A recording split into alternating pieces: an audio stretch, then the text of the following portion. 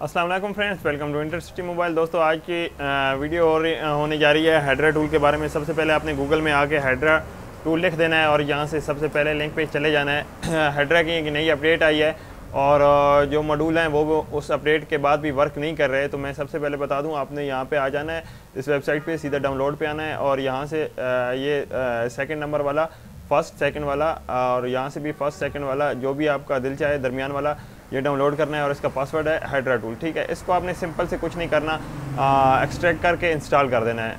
After installation आप जब भी कोई सेटअप ओपन करेंगे तो आपको इस तरह का एक एरर आएगा, ठीक है? मैं आपको दिखा देता हूँ। मेरी ट्विंगल ऑलरेडी कनेक्ट है, ठीक है?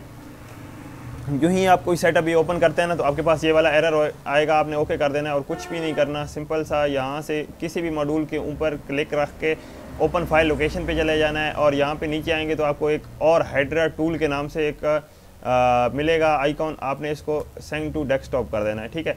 इसको डेस्कटॉप पे सेंड करने के बाद आपने इस पर डबल क्लिक करके इसको ओपन कर देना है। ये पहले वाला ओपन होगा इसको क्लोज कर देना है आपने। ये हम टूल ओपन होगा। अब हम टूल का काम मेरे ख्याल में जहाँ तक मुझे पता है हाइड्रा वालों ने हम टूल का काम ख़त्म कर दिया है। जल्दी ये सारी चीज़ें ख़त्म हो जाएँगी। सारा कुछ एक ही मॉड्यूल में ओपन हो जाएगा ठीक है ना? और इसमें अभी तक कुछ बग्स एरर हैं जो मैं आपको बताना चाहता हूँ। मैंने उन्हें सॉल्व कर लिया आपने भी आ, मेरे बताए हुए तरीके के मुताबिक सॉल्व कर लेना है। वीडियो को पूरा देखना है। जो ही आप ये वाला सेटअप ओपन करेंगे तो आपके पास ये वाली चीज़ें शो होगी ठीक है ना?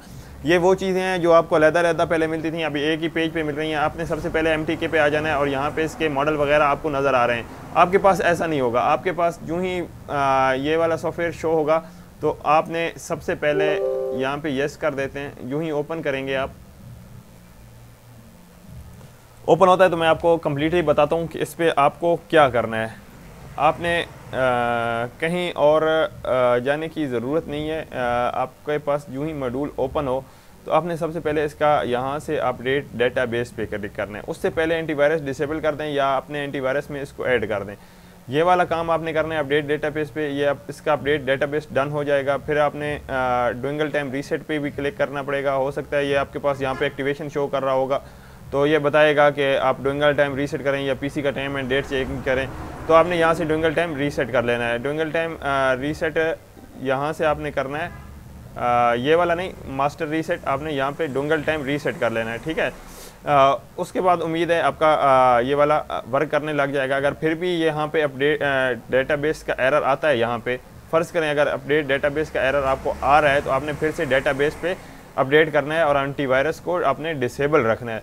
याद रहे एंटीवायरस का डिसेबल होना ज़रूरी है।